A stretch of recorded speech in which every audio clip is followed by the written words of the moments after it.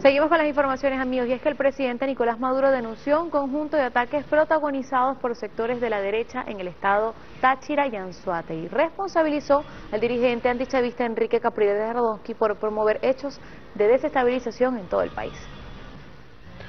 Quemaron la casa del PSU, del Partido Socialista Unido de Venezuela, en el estado Anzuate y en Táchira, con gente adentro.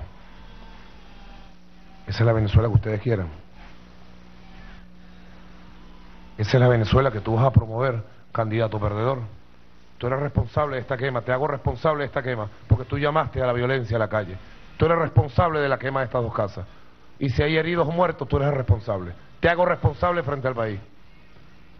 Y sigo llamando a la paz. Y llamo al pueblo al combate, en paz. A movilizarse mañana en todo el país. Por la paz. Movilizaciones en todo el país. Y el miércoles. Y el viernes todos a Caracas. Ya basta de abusos, está. Que sepa el mundo qué clase de derecha hay en Venezuela. Y este mismo hecho irregular se presentó en el estado Táchira, específicamente en San Cristóbal. El gobernador de la entidad, José Bielma Mora, hizo un llamado a la paz y el respeto de la voluntad del pueblo expresada este domingo por medio del voto. Hay focos de violencia en la avenida Carabobo, en la avenida 19 de abril, han tomado el obelisco, Incluso en la mm, vía panamericana, ellos tomaron eh, una gandola de PDVSA que ya le entregaron, unos vehículos de Pedeval que llevaban alimentos, han intentado cerrar otras vías de comunicación. Vean, cuando uno gana, está tranquilo, en paz. Como no somos gobierno, no queremos violencia, ningún tipo de elemento que, que vaya en contra de la paz ciudadana. El gobernador enfatizó que la entidad está bajo el resguardo del Plan República e hizo un llamado a mantener a la familia unida y trabajar fuerte por el pueblo para seguir adelante, como lo enseñó el comandante supremo Hugo Chávez. Bien amigos, y en horas de la tarde de este lunes fueron agredidos en el estado Mérida cuatro periodistas del Sistema Bolivariano de Comunicación e Información por parte de simpatizantes de Capriles durante las acciones violentas en las inmediaciones de la sede del Poder Electoral en la entidad y el edificio de YBK Mundial. Liderados por el diputado antichavista a la Asamblea Nacional William Dávila Barrios, el grupo de simpatizantes de la oposición intentaron ingresar de forma agresiva al órgano electoral del Estado Mérida motivados por el llamado realizado por Enrique Capriles y su comando de campaña. Los periodistas Johanna Briceño, Said Rivas, Ramón Fajardo de YBK Mundial, Adalberto González de la Agencia Venezolana de Noticias y Adle Mejías del Correo del Orinoco fueron violentados física y verbalmente por quienes desconocen los resultados del Consejo Nacional Electoral que reflejan como ganador al candidato revolucionario Nicolás Maduro, presidente electo de la República Bolivariana de Venezuela. Durante los hechos de violencia lanzaron botellas y objetos contundentes a los trabajadores del CNE y de la radio emisora.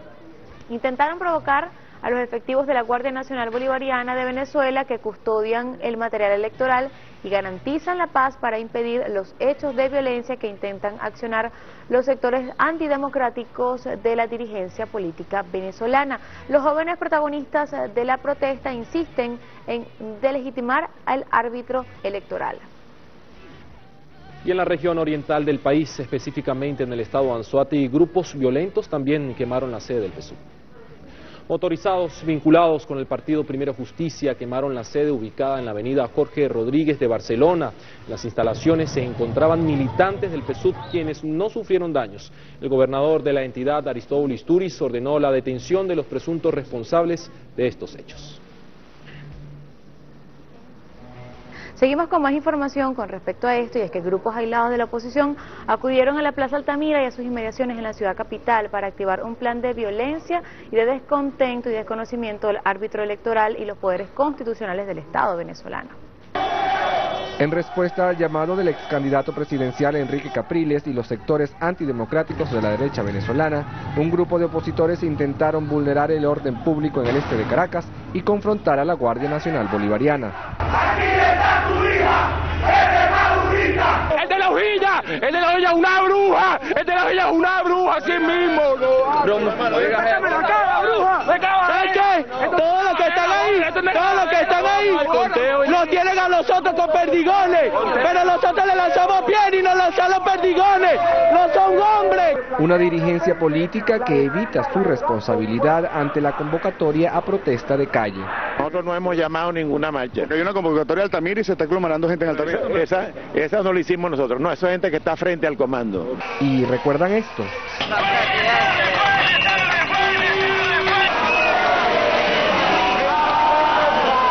un retroceder en el tiempo. Con actos desestabilizadores, las organizaciones políticas de oposición vuelven a los mismos escenarios que en 2002 fueron el inicio de un golpe de Estado. Maduro no es que cayó, es que los venezolanos escogimos un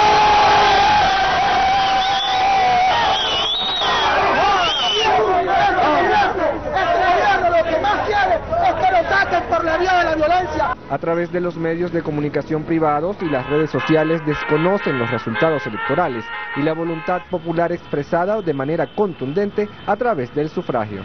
Nosotros los venezolanos no vamos a aceptar este fraude, no vamos a aceptar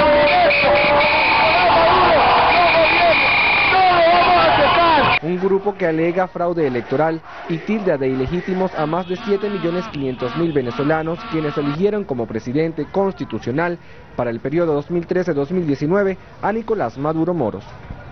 Bien amigos, a esta hora establecemos un contacto telefónico con el gobernador del estado Barinas, Adán Chávez, quien nos tiene información importante acerca de algunos hechos ocurridos en la entidad. Buenas noches, gobernador, lo escuchamos.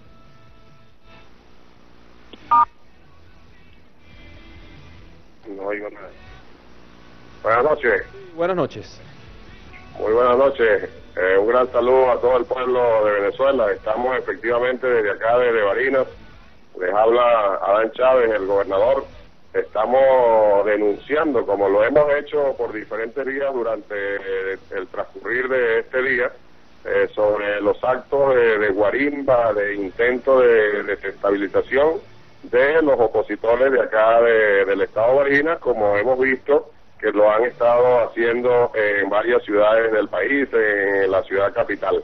Sin duda que es un, eh, parte del plan, parte del plan violento que tiene la oposición para intentar desconocer el triunfo del presidente Nicolás Maduro. Sin duda que es ese plan violento, ese plan de intento de golpe de Estado. Ahí están las imágenes de acá del Estado, de lo que ha sido el guarimbero de, los caprilistas aquí en Marina. Yo responsablemente, como lo hice hoy a través de la regional, eh, denuncio públicamente y ya estamos eh, presentando pruebas como estas imágenes, es parte de eso, al Ministerio Público, de eh, los desmanes, los desastres que están causando sin ninguna justificación, porque por supuesto que esto no es justificable desde, ninguna, desde ningún punto de vista eh, han quemado automóviles al frente de la sede del partido y una motocicleta. Eh, tenemos cuatro policías graves por eh, las piedras que han lanzado y otros objetos contundentes, bombas molotov. Eh, toda pues una guarimba muy bien organizada.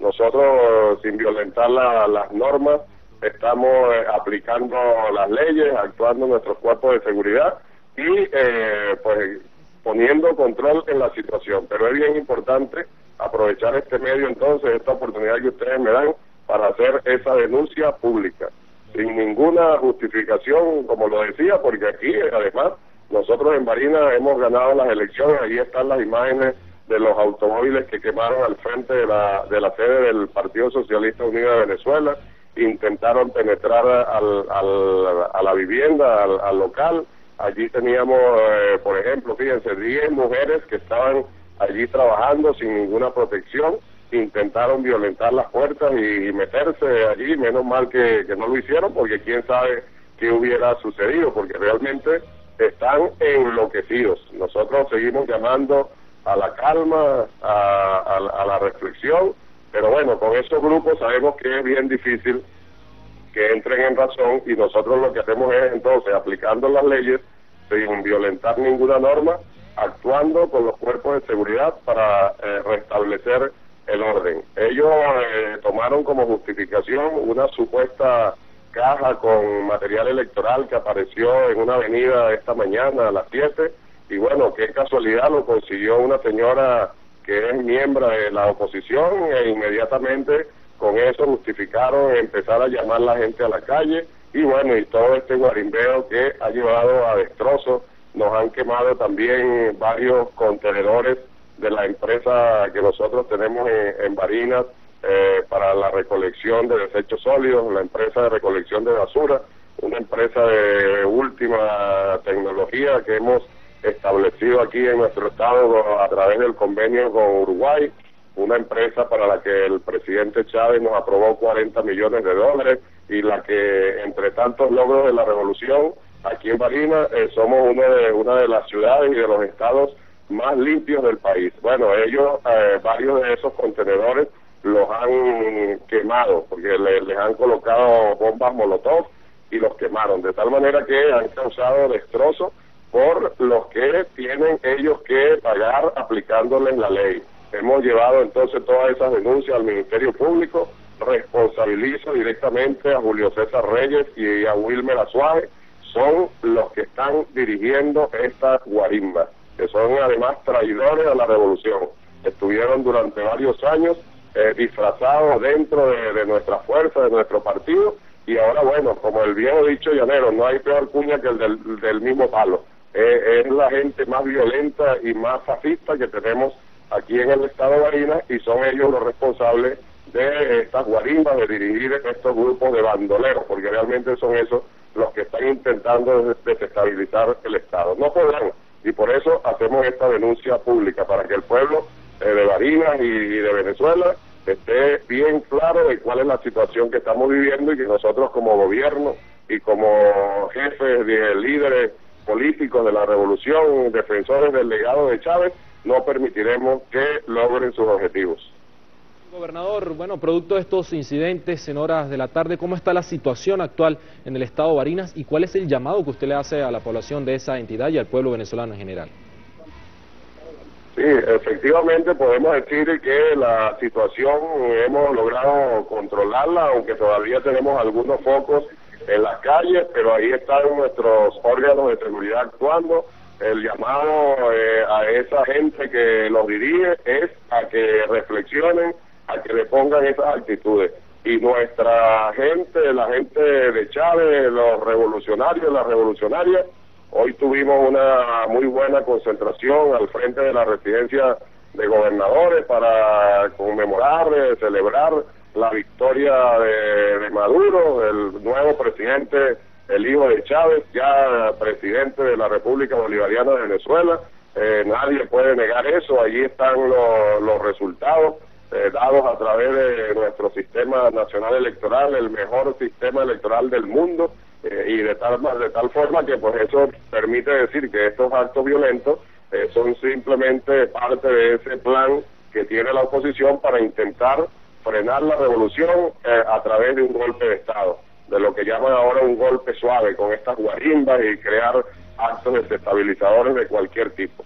El llamado entonces es a, que depongan esas actitudes porque nosotros seguiremos actuando, seguiremos aplicando la ley sin violentar los derechos humanos, pero no permitiremos que logren sus objetivos. Y, y sé que no lo lograrán ni aquí en Barinas ni en el país, porque este es un gobierno fuerte, el pueblo está consciente, organizado y nosotros hemos llamado a nuestra militancia a no caer en provocaciones, por supuesto, pero a mantenernos todos alertas. Y están nuestros compatriotas, después de la gran concentración que tuvimos esta tarde, salieron todos a concentrarse en nuestros puntos rojos y a estar atentos ante cualquier llamado de, su gobierno, de, de la revolución.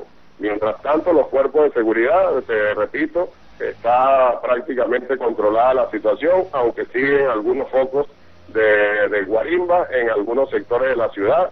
Están ellos cumpliendo el cacerolazo al que los invitó el, el candidato perdedor. Y bueno, y nuestra gente pues también colocamos, colocamos, porque fue la instrucción que dimos, la Diana bolivariana, la Diana de Chávez ha estado sonando también por toda la ciudad. De tal forma que eh, vamos a seguir atentos y ante cualquier situación yo les agradezco la oportunidad y seguiremos eh, informando y denunciando lo que tengamos que denunciar por esta y otras vías. Bien, agradecemos al gobernador del estado Barinas, Adán Chávez, quien informaba acerca de los incidentes que ocurrieron horas de la tarde en esa entidad.